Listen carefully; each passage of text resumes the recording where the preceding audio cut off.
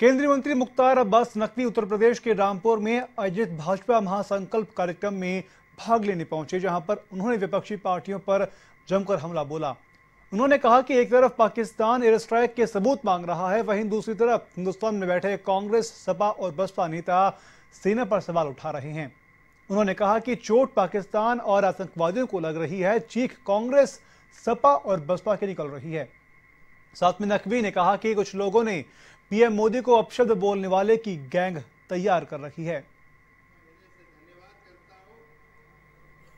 और एक ही चीज़ कहता हूँ, जो मैंने बीच में कहा, मगर वो कहता है, मैं जनुधारी ब्राह्मण हूँ, बचपन से हूँ।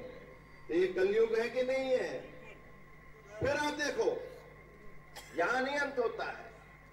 अब आप देखो, इतिहास देखो देश और दुनिया की हर छोटी बड़ी खबर के लिए सब्सक्राइब करें एवन टीवी न्यूज़ साथ ही बेल आइकन को प्रेस करें ताकि आप पा सकें ताज़ा खबरों की नोटिफिकेशन